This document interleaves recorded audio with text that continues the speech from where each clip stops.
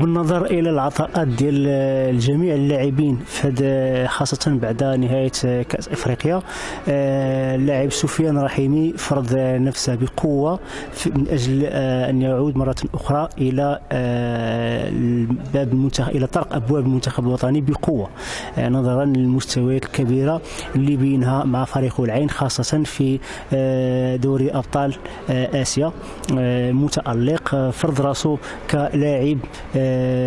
غير ممكن أنه يفيد المنتخب الوطني إن شاء الله في قادم المنافسات. الحديث كذلك عن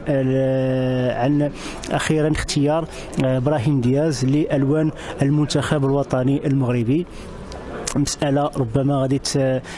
خلقات ضجة في الأسابيع الأخيرة خاصة مع الإعلام الإسباني الذي كان يمني النفس أن اللاعب إبراهيم دياز يختار ألوان آه، المنتخب الإسباني إلا أن آه، الحظ حالف آه، مش نقول الحظ نقول حتى العمل الكبير اللي قامت به الجامعة الملكية في شخص الرئيس فوزي القجع اللي خلى أخيرا إبراهيم دياز يختار ألوان المنتخب المغربي وإن شاء الله تكون إضافة كبيرة يقدمها إلى جانب الأسماء كبيره كحكيم جياش بونو وكذلك حكيمي بالنسبة للخط الدفاع كنلاحظوا آه، عودة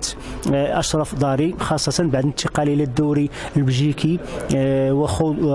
بداية خوضه لمجموعة من المباريات وعودته إلى التنافسية. جديد الثقة في الشيبي اللي كان مسألة عادية خاصة أنه في المقابلات اللي لعبها في كأس إفريقيا بين أنه يستحق المناداة عليه من جديد. كذلك لاحظنا عودة اللاعب إلياس بن الصغير لاعب موناكو اللي تألق منذ الموسم الماضي واللي كان بين غير ما مرة أنه باغي يلعب للمنتخب المغربي. ربما هذه الأسماء. كذلك أخو ماش اللي آه، بالإضاءة نقدروا نزيدوا كذلك على آه، إبراهيم دياز اللي رفض الدعوة ديال آه، المنتخب الإسباني وفضل أنه يلعب المغرب الآن الضغط كبير ما يكونش على على اللاعبين وإنما على المدرب لأنه العام الآن عنده واحد لائحة كتضم خيره اللاعبين المغاربة اللي لم يكن فيهم اللي كيلعبوا في الفرق العالمية على رأسهم مثلا بحال حكي حكيمي حكيم زياش كذلك وابراهيم دياز. الضغط كبير آه، الركراكي لإيجاد التوليفه المناسبة و آه، والتكريس آه، الطموحات ديال الشعب المغربي في التتويج بكأس أفريقيا القادمه اللي غتكون منظمة إن شاء الله في المغرب. وكذلك البصم على مشاركة فعالة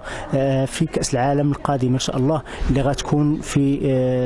الولايات المتحدة بالتشارك مع المكسيك وكندا. للمزيد من المعلومات ما تنسوش تابوناو وتفعلوا الجرس باش يوصلكم جديد Le Site TV